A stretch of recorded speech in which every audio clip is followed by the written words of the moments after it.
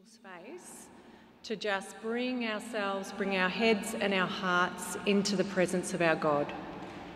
So I invite you to take a few quiet, deep breaths and prepare yourself, prepare your head, prepare your heart for this amazing celebration of 130 years of Assumption College in Kilmore.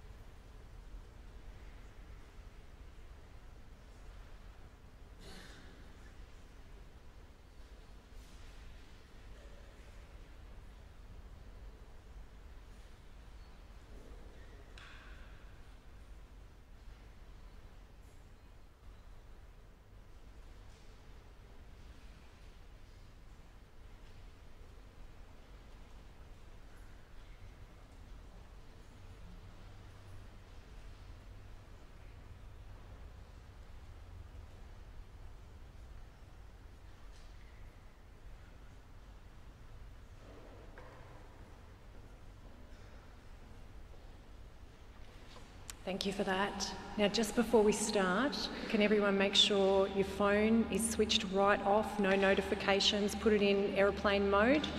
Make sure we're not going to get any interruptions or buzzing or you getting distracted by knowing it's there. So, phone's completely off. And also, you are allowed and even encouraged to take your blazer off to make sure that you don't get too uncomfortable during Mass and can just be present to what's happening.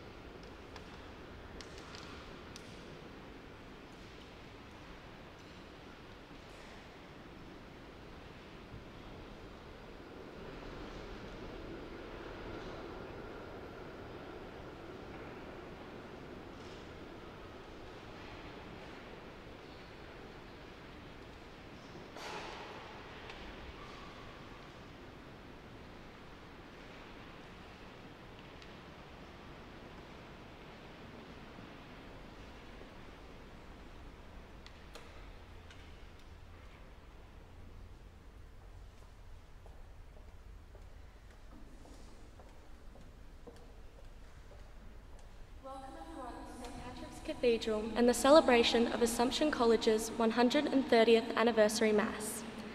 As we gather in this sacred place, on this sacred ground, we take a moment to pause in quiet and place ourselves in the prayerful, in the prayerful presence of our God.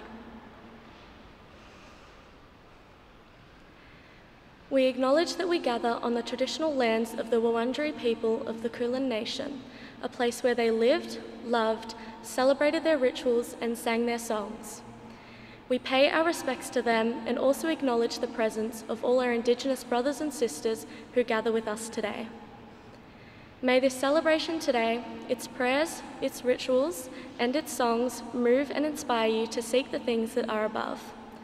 We welcome and thank Bishop Terry Curtin for being with us today to lead us in this Mass, and I invite you all to stand and join in singing our opening hymn.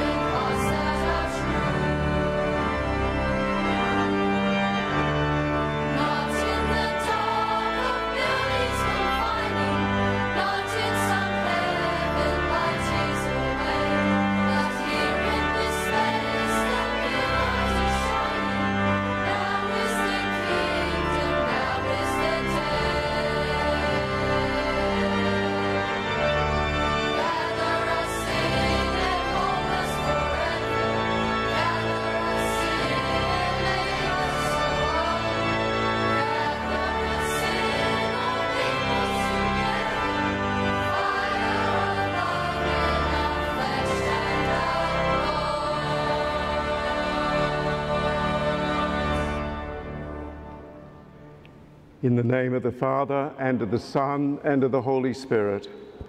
Peace be with you. It's my great privilege as Auxiliary Bishop of Melbourne, indeed, and responsible for the northern region of the Archdiocese, to be here with you this morning to celebrate 130 years of Assumption College, Kilmore. We give thanks to God for all that has been given to us in those years, and especially now asking His blessing upon us as we go forward, strengthened by all that has happened over the years. We don't always respond to God's love, so again we pause and we ask mercy and pardon. You were sent to heal a contrite of heart, Lord have mercy. You came to call sinners, Christ have mercy. You are seated at the right hand of the Father to intercede for us, Lord have mercy.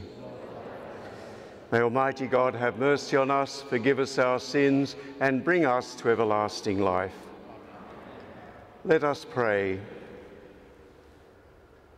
O God, you have willed that your church be the sacrament of salvation for all nations, so that Christ's saving work may continue to the end of the ages.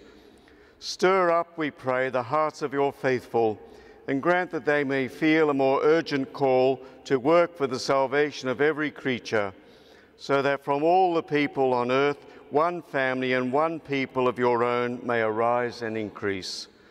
Through our Lord Jesus Christ, your Son, who lives and reigns with you in the unity of the Holy Spirit, God forever and ever. Amen. Please be seated.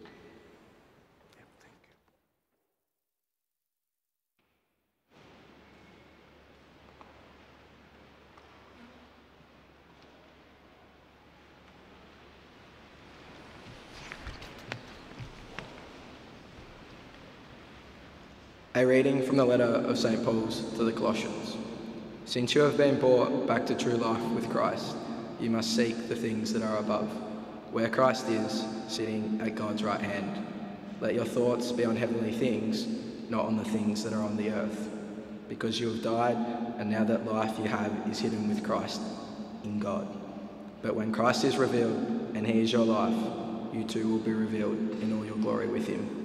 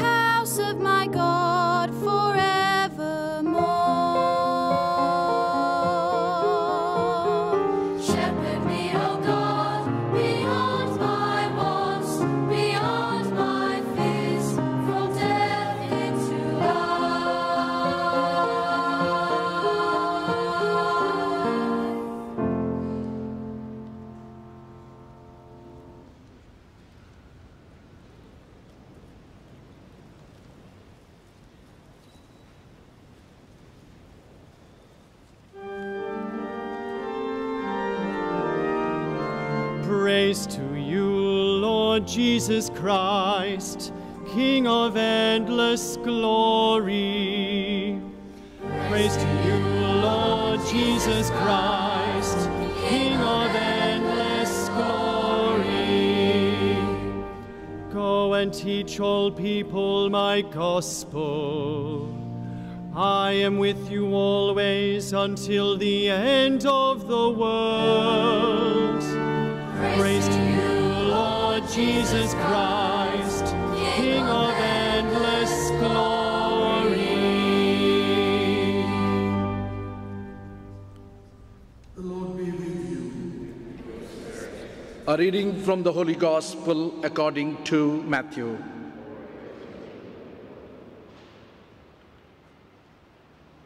The eleven disciples set out for Galilee to the mountain where Jesus had arranged to meet them. When they saw him, they fell down before him, though some hesitated. Jesus came up and spoke to them.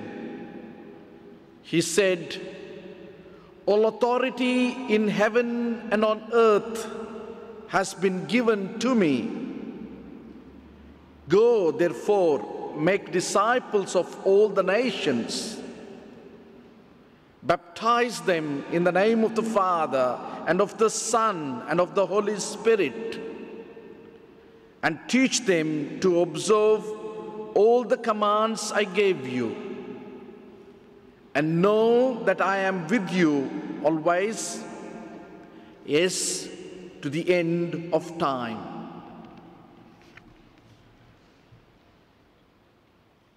The Gospel of the Lord.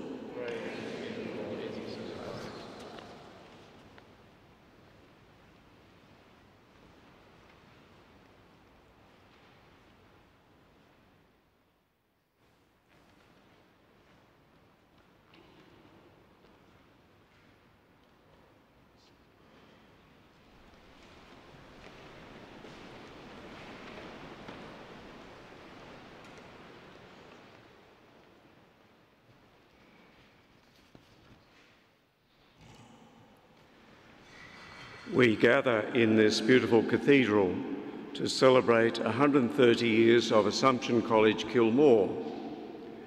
From a humble start in 1893, when the Marist brothers first accepted an invitation to establish a primary school for local boys.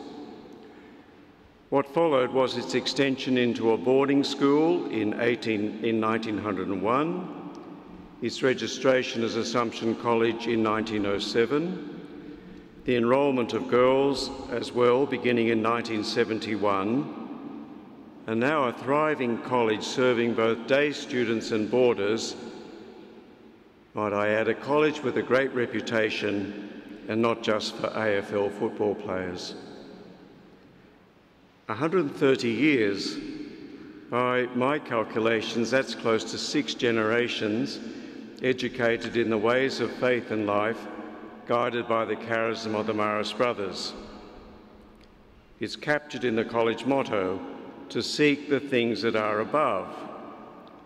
We find these words in our first reading today, which we join with those of Jesus in our Gospel, who says, Know that I am with you always, even to the end of time. That promise to be present, to be with us, lies at the heart of our celebration of these 130 years, sustaining and enabling in the inevitable challenges and ever calling us forward. The college's mission vision statement points to what this means. So that compassion, kindness, humility, gentleness, patience, forgiveness, love, peace, and gratitude are our lived experience.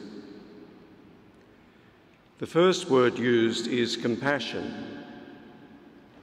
Compassion, as I understand it, is something divine in human beings that enables us to share deeply in the sufferings and needs of others and brings us to move from one world to the other, from the world of the helper to that of the one needing help. As Martin Luther King, the American civil rights campaigner, once put it, it's when the question changes from what will happen to me if I stop to help to what will happen to them, the wounded, if I don't. Here is where I note that other comment in our Gospel passage.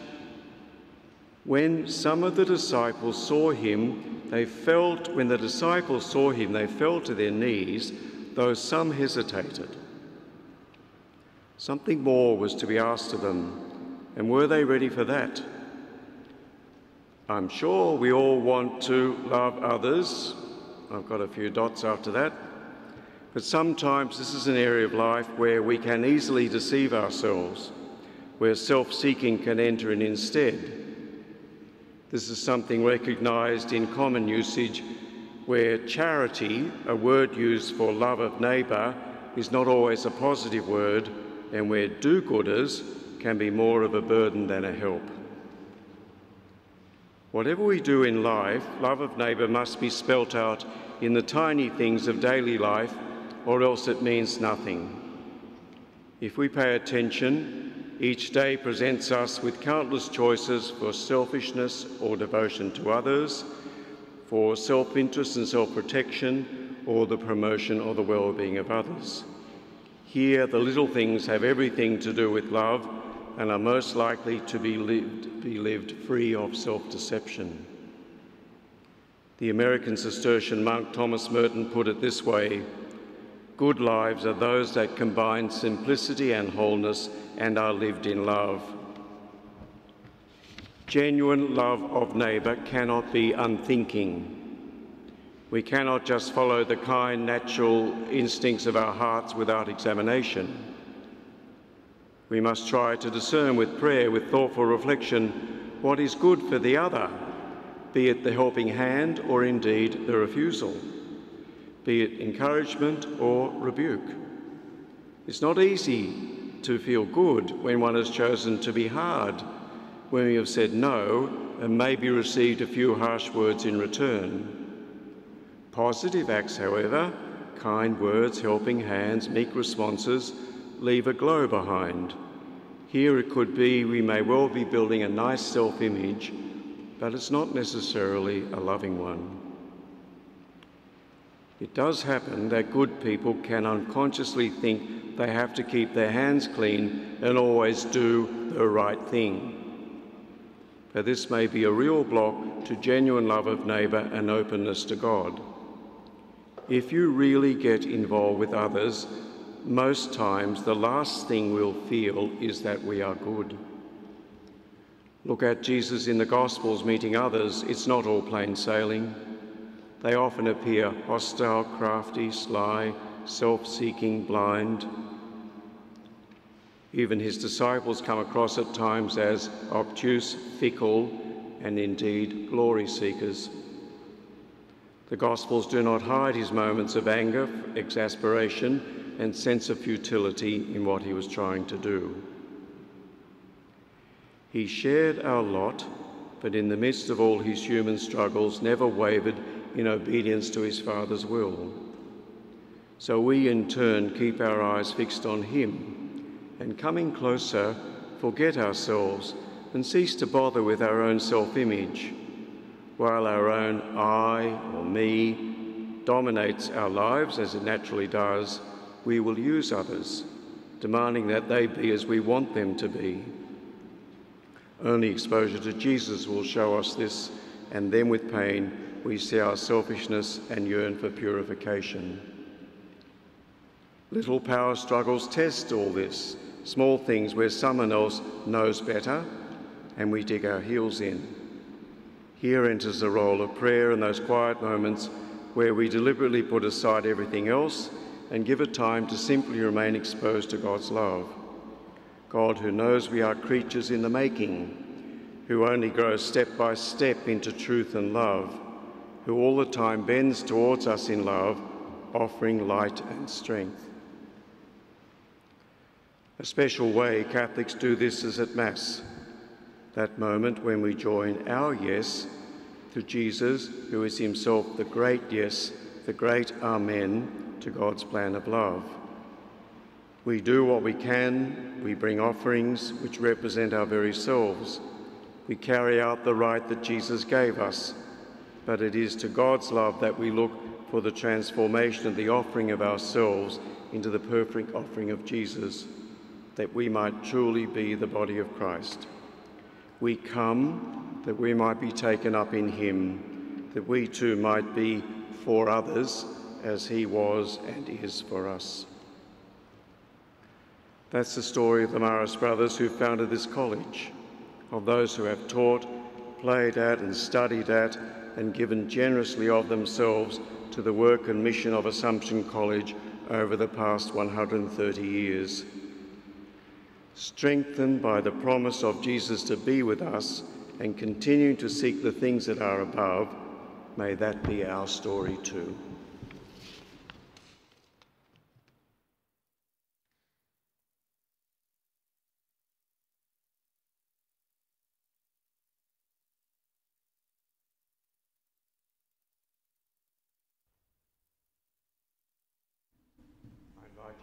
Stand as we come to our prayers of intercession.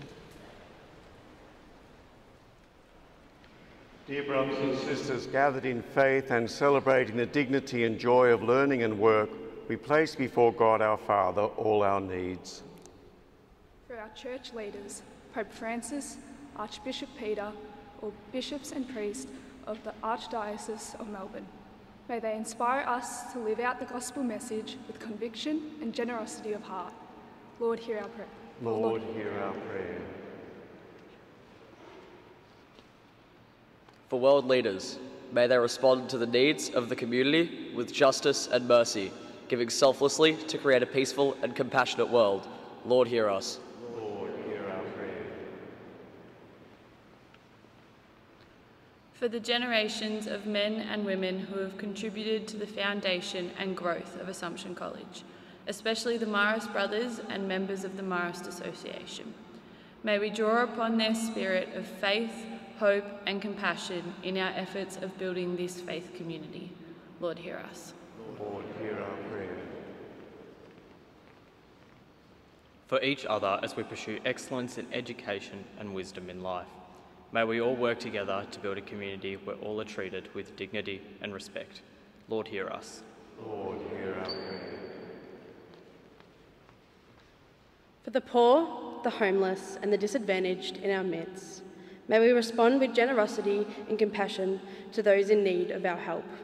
And to those who come to us seeking education and support, Lord, hear us.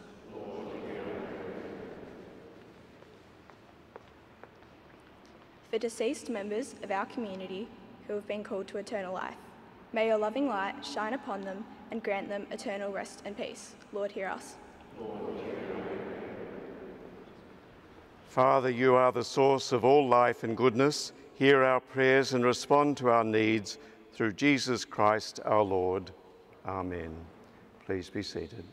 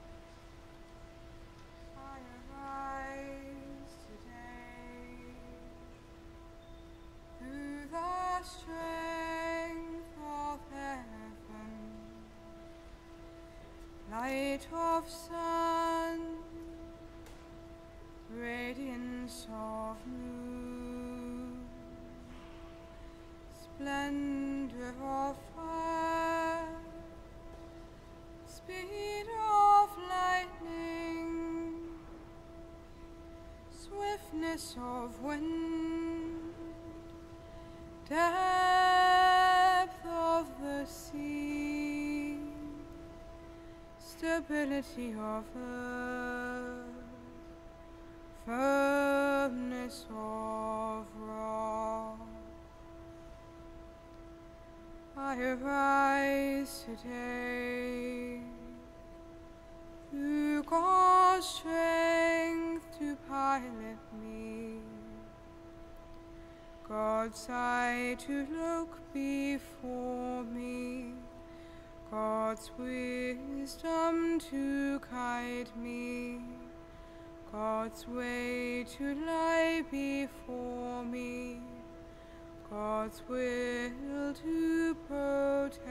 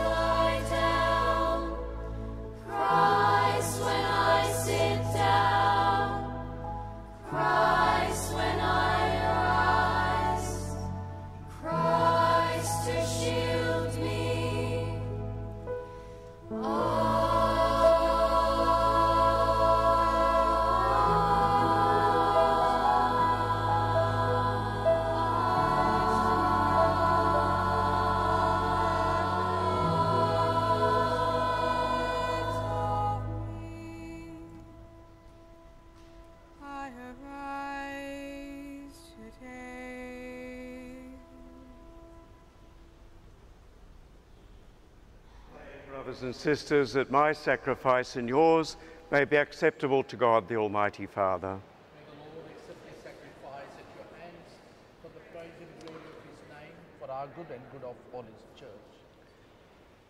May the offerings and prayers of your church, O Lord, rise up in the sight of your majesty and gain acceptance, just as the glorious passion of your Son was pleasing to you for the salvation of the whole world, through Christ our Lord. Amen. The Lord be with you. Lift up your hearts. Let us give thanks to the Lord our God.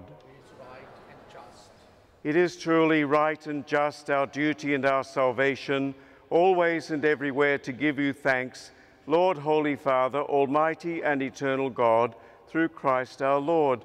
His death we celebrate in love, his resurrection we confess with living faith, and his coming in glory we await with unwavering hope.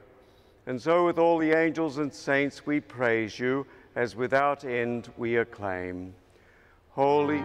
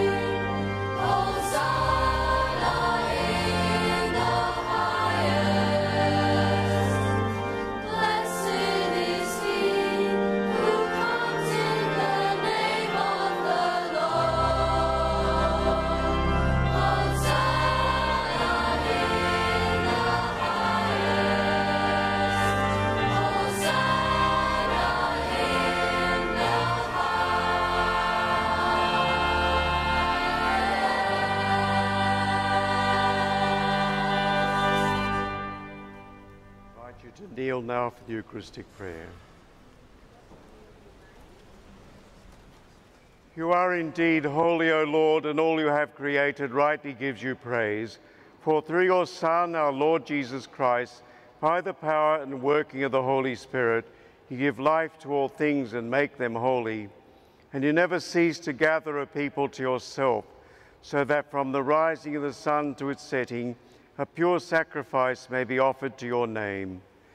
Therefore, Lord, we humbly implore you, by the same Spirit, graciously make holy these gifts we have brought to you for consecration, that they may become the body and blood of your Son, our Lord Jesus Christ, at whose command we celebrate these mysteries.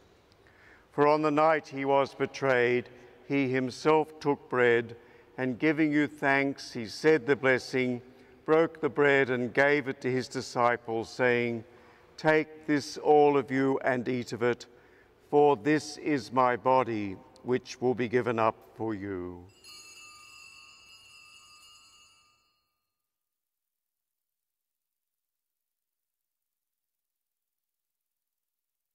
In a similar way, when supper was ended, he took the chalice, and giving you thanks, he said the blessing, and gave the chalice to his disciples, saying, Take this, all of you, and drink from it, for this is the chalice of my blood, the blood of the new and eternal covenant, which will be poured out for you and for many for the forgiveness of sins.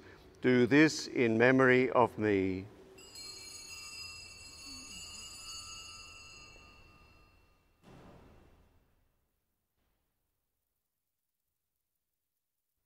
The mystery of faith.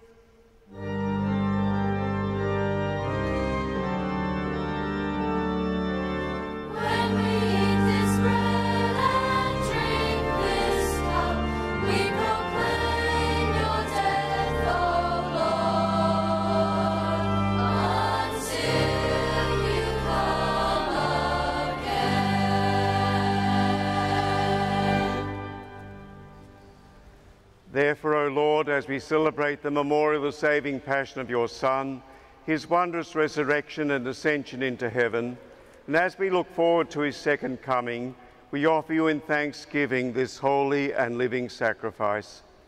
Look, we pray upon the oblation of your church, and recognizing the sacrificial victim by whose death you will to reconcile us to yourself, grant that we who are nourished by the body and blood of your Son and filled with his Holy Spirit may become one body, one spirit in Christ. May he make of us an eternal offering to you, so that we may obtain an inheritance with your elect, especially with the most blessed Virgin Mary, Mother of God, with blessed Joseph, her spouse, and with your blessed apostles and glorious martyrs, with St. Patrick, St. Marcellin Champagnat, and with all the saints on whose constant intercession in your presence we rely for unfailing help. May the sacrifice of our reconciliation, we pray, O Lord, advance the peace and salvation of all the world.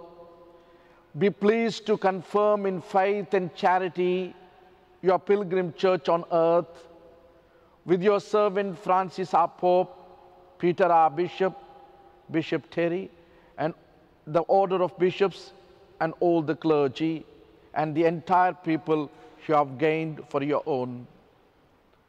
Listen graciously to the prayers of this family whom you have summoned before you. In your compassion, O merciful Father, gather to yourself all your children scattered throughout the world. To our departed brothers and sisters, and to all who are pleasing to you at their passing from this life, give kind admittance to your kingdom. There we hope to enjoy forever the fullness of your glory through Christ our Lord, through whom you bestow on the world all that is good.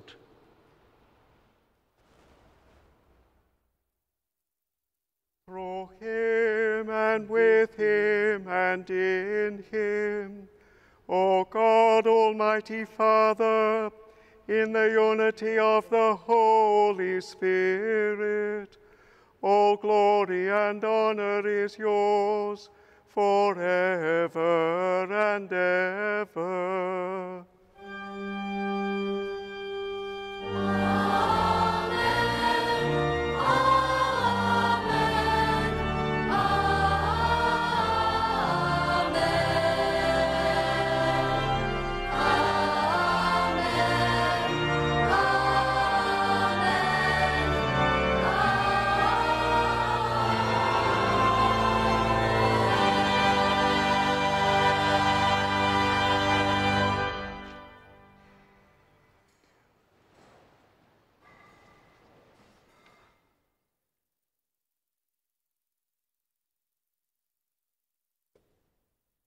The Saviour's command, informed by divine teaching, we dare to say, Our Father, who art in heaven, hallowed be thy name. Thy kingdom come, thy will be done on earth as it is in heaven. Give us this day our daily bread, and forgive us our trespasses, as we forgive those who trespass against us. And lead us not into temptation, but deliver us from evil. Deliver us, Lord, we pray, from every evil. Graciously grant peace in our days, that by the help of your mercy we may be always free from sin and safe from all distress, as we await the blessed hope and the coming of our Saviour, Jesus Christ. For the kingdom, the power, and the glory are yours, now and forever. Lord Jesus Christ, who said to your apostles, Peace I leave you, my peace I give you, look not on our sins, but on the faith of your church, and graciously grant her peace and unity in accordance with your will, who live and reign forever and ever. The peace of the Lord be with you always. Let us now offer each other the sign of peace.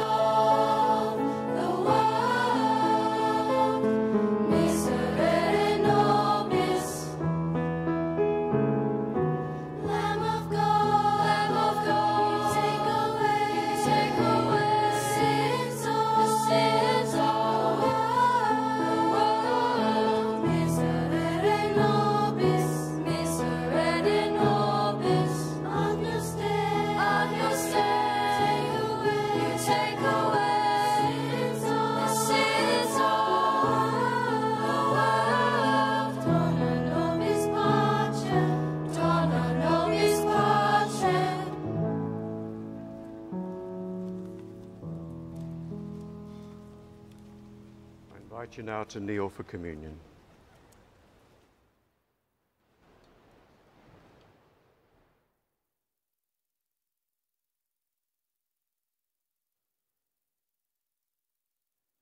Behold the Lamb of God, behold him who takes away the sins of the world. Blessed are those called to the supper of the Lamb. Lord, I am not worthy that you should enter under my roof, but only say the word, and my soul shall be healed.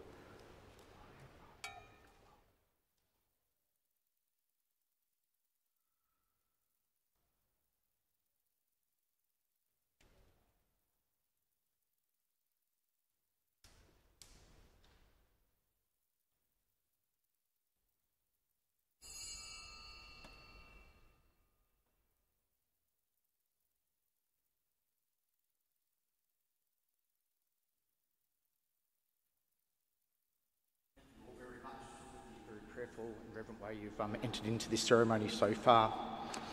For the distribution of communion, just a reminder that if you haven't received your first communion, if you simply come forward to one of the ministers and cross your hands on your chest, and either the priest, the bishop, or the minister will give you a blessing. We would ask everyone to move towards communion and, and, and to come forward. If you're sitting on the sides, if you come along the wall and return via the pillars, If you're in the centre of the, the nave, if you come down the middle aisle and also return via the pillars. And if you're on the side, you come down the middle aisle and return via the side. If you do require a gluten-free option host, uh, that will be served over near the choir.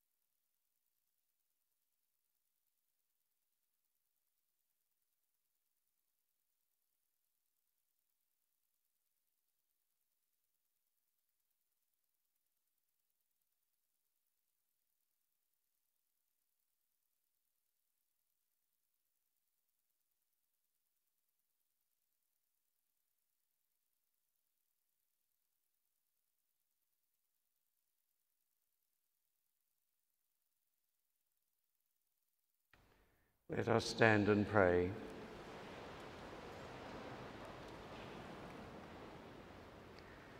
May our participation in your table sanctify us, O Lord, we pray, and grant that through the sacrament of your church, all nations may re- receive in rejoicing the salvation accomplished on the cross by your only begotten Son, who lives and reigns forever and ever. Amen. Please be seated now. You're going to have a few words from Kate Fogarty, our principal.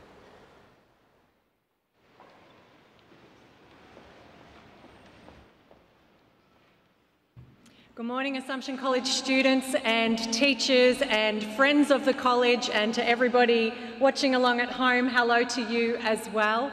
Um, what a special gift for us to be able to gather on our 130th birthday in this space. Students and staff of Assumption College have been coming here to St Patrick's Cathedral for 130 years to celebrate our big events, and so you are now part of that history and the legacy that we pass on to everybody who comes after us. I'd like to say a special thank you to Bishop Terry for celebrating Mass for us today. It's fabulous to have you with us. And also to Father Prakash from our local parish who was um, helping out with our Mass today too.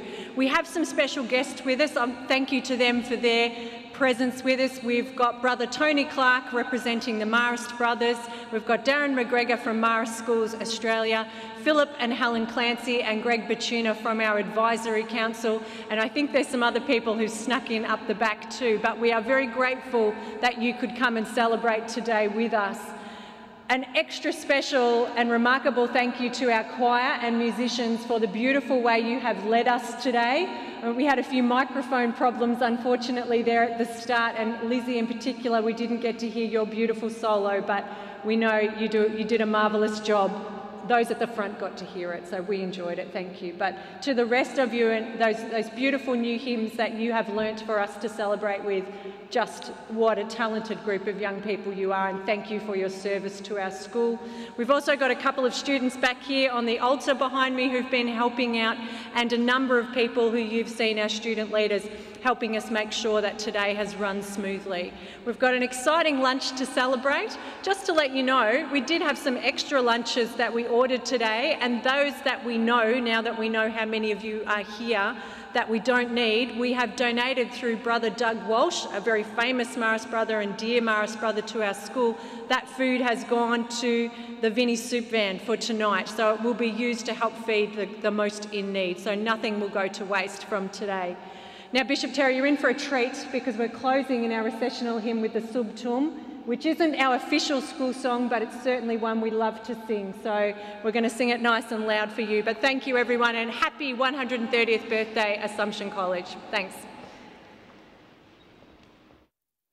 Thank you, Kate, and I'd like to echo your words too and thank everyone who's helped us to come to this celebration.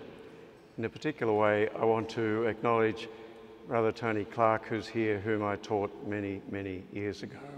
And I'm delighted to see you back in Australia, Tony. You have so much to share and to give, and we look forward to that. We might now stand for the final blessing. I need the crozier.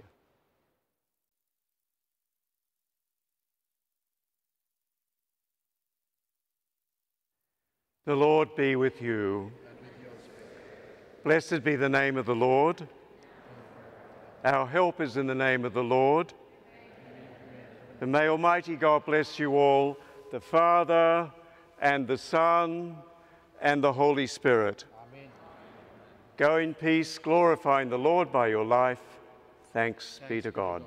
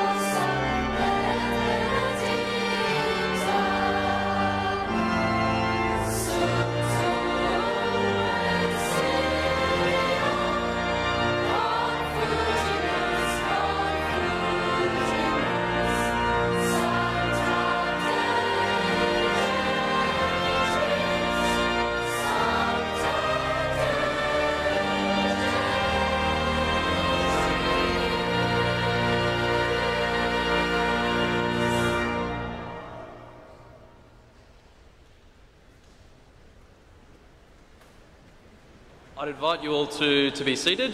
Um, if there are any staff or those staff that are assisting us get down